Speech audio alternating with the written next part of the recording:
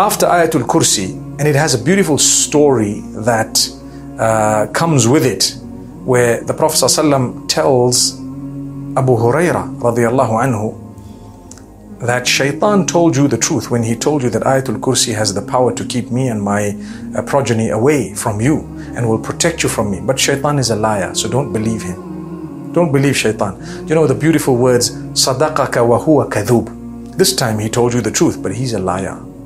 Subhanallah. You know, when, I think of those words of the Prophet ﷺ, I tell myself, amazing how beautifully it's worded. I have so much of hope in the mercy of Allah. He's confirming to me that this verse will keep me protected from shaitan. Shaitan himself acknowledged that, yeah, it's a powerful verse. I agree. And Allah says, or the Prophet ﷺ says to Abu Huraira, watch out.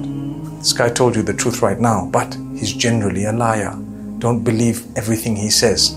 May Allah subhanahu wa ta'ala protect us all from shaitan and grant us all the best of this world, our offspring, our progeny, our loved ones. Ameen.